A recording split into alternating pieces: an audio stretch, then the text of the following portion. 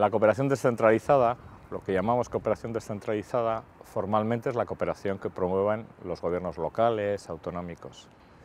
La realidad es una cooperación más cercana a la ciudadanía, a la comunidad, que promueve un mundo mejor, promueve que haya conexiones horizontales entre lo mejor de unas sociedades con lo mejor de otras y por eso apostamos una comunidad con lo mejor de nuestras organizaciones, ONGs, eh, políticas que nos han ido bien y que han sido buenas, poderlas poner también al servicio del desarrollo. Desplegar todas las potencialidades y capacidades que tienen nuestros territorios puestos al servicio del desarrollo humano sostenible. Yo diría que en base a la experiencia de la OCDE, la cooperación descentralizada para el desarrollo tiene tres características principales. La primera es la gran diversidad de situaciones entre y dentro de los países. La segunda es la dificultad de cuantificar lo que representa en términos de flujos financieros. La tercera es como un cambio de paradigma en lo que se concibe detrás de la cooperación descentralizada.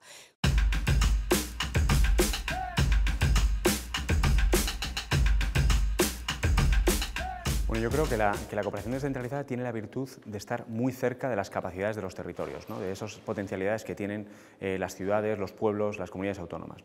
Y eso le permite además, junto al roce que tienes eh, en el día a día de lo local, pues juntar actores de una manera muchísimo, muchísimo más fácil. Acercarte a esa empresa, a esa universidad, a esa ONG que, con las que convives en el día a día y que te pueden aportar eh, visiones diversas.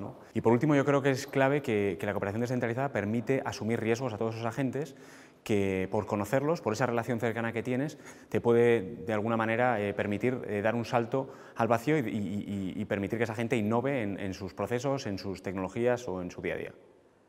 Para nosotros pensamos que la cooperación descentralizada puede ayudar muchísimo a construir, a construir nuevos tipos de relaciones, entre los cuales las personas serían los sujetos más importantes, es decir, crear puentes entre los pueblos para crear una ciudadanía universal mucho más comprometido y mucho más atrevido a poder trabajar juntos. Para nosotros esto es súper importante. Trabajamos intentando traer muchos jóvenes senegaleses en País Vasco y también intentando eh, traer muchos jóvenes del País Vasco en Senegal, para que esos jóvenes se puedan conocer, se puedan identificar en los mismos problemas que hoy en día la juventud encuentra, que se puede encontrar eh, frente a los retos, de global, los retos globales que tenemos y que juntos pueden trabajar para poder dar soluciones.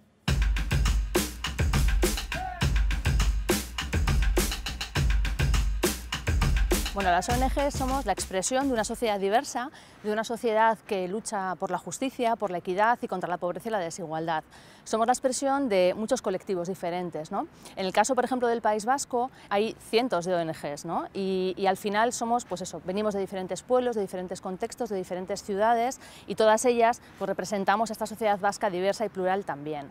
Además, las ONGs somos un interlocutor muy importante con, con el Estado y con las administraciones públicas, porque además utilizamos muchas veces los fondos que, estos, que el Estado nos da, que las administraciones locales nos ceden para, eh, vía subvención, llevar a cabo proyectos de cooperación al desarrollo en un montón de países del mundo.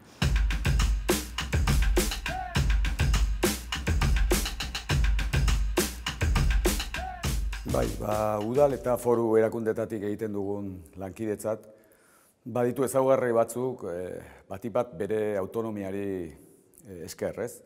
Eta horrek ematen digu aukera, ba, zenbait alorretan, ba, gertuagotik jarraitzea eta gertu, gertuko tasun hori e, erabiltzea. Ez? Eta bueno, adibidez, ba, gure erakundetan jorratzen ari dian zenbait gai, ba, giza eskubia direla, e, genero ikuspegia dela, e, lankidetza edo edo arlor sozialeko hainbat zerbitzu integral, ba, badira e, gure euskal gizartearen bereizgarri batzuk, eta horiek baliogarriak izan daitezke lankidetzako harremanetan, ez? Ba, berezitasun hori, ba, da lankidetza dezentralizatuari ba, balio erantzi bat ematen dio beste zenbait lankidetzaren e, ondoan, eh, alderatuz.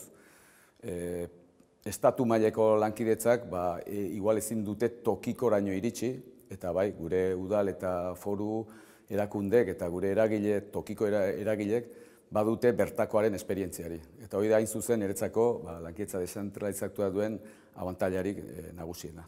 Ya no se trata del norte que trabaja con el sur o de países ricos con países pobres eh, o de donante y recipiente, es realmente un enfoque territorial entre pares con cooperación más triangular que realmente apunta a intercambiar lo mejor de las experiencias y tener soluciones muy locales y muy específicas a problemas que identifican juntos los países socios.